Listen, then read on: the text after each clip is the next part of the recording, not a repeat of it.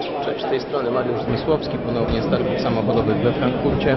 Tym razem jestem u Mercedesa, na naj, chyba naj, największym stoisku tutaj na miejscu.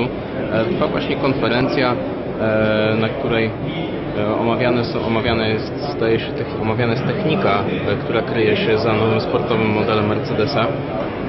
Ma 1000 koni, jest super szybki i tak dalej, i tak dalej, a tymczasem moim zdaniem Wiem, że to tylko koncept i nie mówimy o samochodzie, który wejdzie do produkcji, ale tu jest prawdziwa gwiazda, naprawdę najpiękniejszy samochód tych targów. To jest może odważnie powiedziane, bo e, wiele osób może się ze mną nie zgodzić, ale e,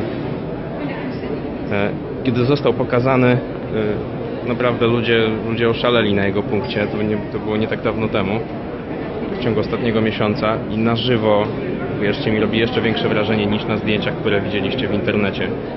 E, Maybach Six Cabriolet jest absolutnie spektakularny.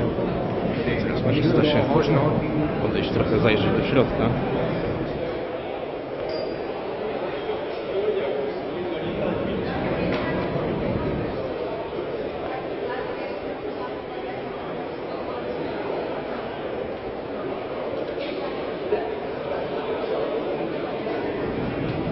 Co mogę o nim opowiedzieć? Trzeba po prostu zobaczyć. To, tego się nie da opisać słowami. Jest absolutnie przepiękny. Ma Niesamowite proporcje. Na żywo wygląda jeszcze lepiej niż na zdjęciach. Mercedes Maybach zrobił kawał niesamowitej roboty. Coś wspaniałego.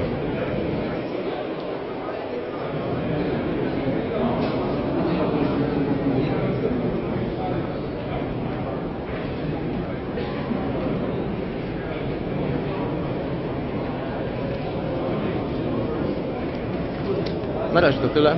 Do zobaczenia na Instagramie, na Facebooku i na autoklub.pl.